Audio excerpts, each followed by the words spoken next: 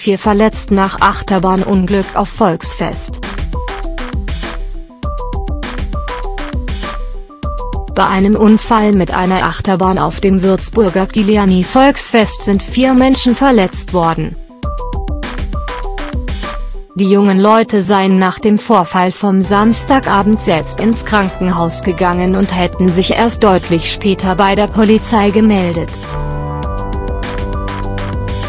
sagte ein Sprecher der Ermittler am Sonntag. Zuerst hatte der Bayerische Rundfunk, BR, darüber berichtet. Die jungen Leute seien zwischen 20 und 25 Jahren alt gewesen, sagte der Polizeisprecher. Sie hätten berichtet, dass ihr Wagen ungebremst auf wartende Wagen gestoßen sei.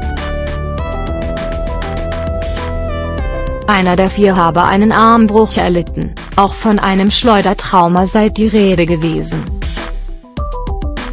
Der Betrieb des Fahrgeschäfts sei eingestellt worden. Ein Gutachter werde die Achterbahn voraussichtlich am Montag überprüfen. Der BER berichtete, die Landesgewerbeanstalt und die Bauaufsicht hätten das Fahrgeschäft am Sonntag untersucht und mehrere Fahrtests gemacht.